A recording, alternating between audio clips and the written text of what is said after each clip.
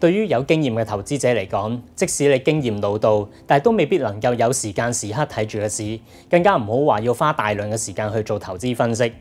即使你身經百戰，但系多年嚟嘅營營役役，都好可能未必能夠換取到理想嘅投資回報。你有冇諗過呢個可能係同投資方法有關呢？要達到穩定嘅長線投資增長，靠嘅係一套紮實而有力嘅投資分析框架，並唔係毫無章法咁樣去做短線嘅頻密炒賣。喺 FSM One 嘅管理組合入邊，我哋嘅團隊會透過就係核心同埋輔助嘅投資策略，幫你去建構投資組合。比重較大嘅核心部分將會按照我哋所制定嘅環球經濟權重去投資喺成熟市場或者就係區域型嘅基金。而比重較細嘅輔助部分，將會按照我哋嘅研究觀點，投資喺範圍較細嘅單一市場同埋單一行業嘅相關產品。咁樣做可以令到我哋核心嘅部分能夠分散投資喺多個相關係數較低嘅市場或者係地區，而輔助部分亦都可以投資我哋研究觀點最睇好、認為係最具潛力嘅單一市場或者係行業。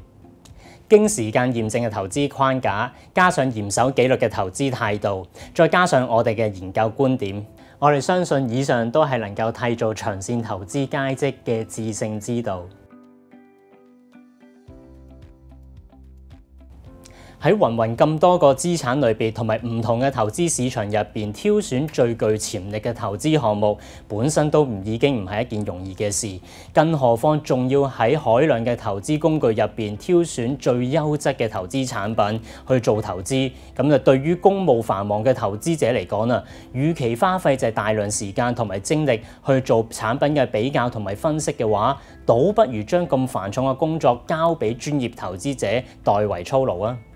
！FSM One 團隊糅合咗量化同埋質化分析，喺我哋投資範圍裏邊嘅唔同基金類別揾出最合適嘅基金。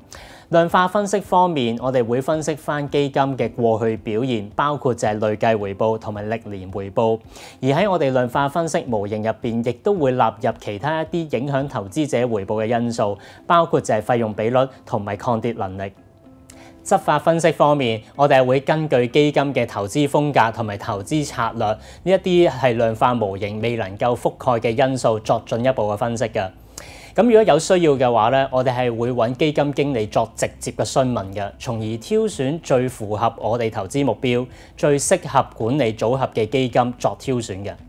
ETF 方面，產品所追蹤嘅基準指數係我哋嘅首要考慮目標，去確保 ETF 能夠達到我哋所希望捕捉嘅投資機會。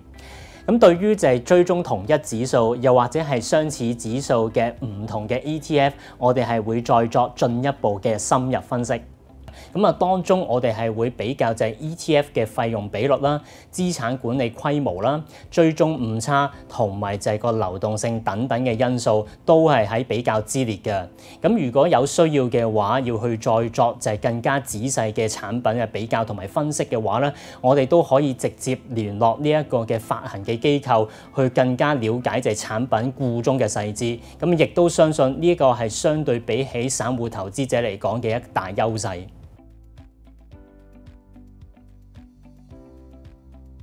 作為專業投資者嘅你，有冇曾經對以下嘅新聞感到迷茫呢？聯儲局官員暗示將會收緊貨幣政策，股市下挫；大型權重股企業業績差過預期，拖累公司以及該板塊嘅股價全線下跌。GDP 增長意外地萎縮，市場憂慮經濟將陷入衰退。金融市場千變萬化，即使係對有經驗嘅投資者嚟講，咁亦都可能需要一段時間先至可以將信息去消化、解讀，甚至乎係作出反應。咁啊，對於本身公佈繁忙嘅投資者，又或者係忙碌嘅上班族嚟講咧，好可能咧都無法係即時迅速反應當前嘅市場嘅狀況嘅。FSM One 團隊唔單止會同你睇住嘅市，亦都係會同你睇住個投資組合。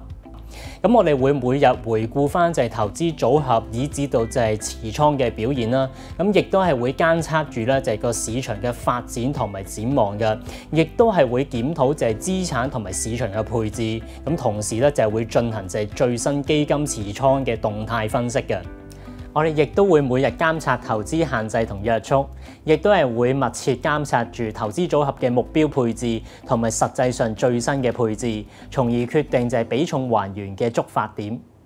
FSM One 助你為市全球投資致富。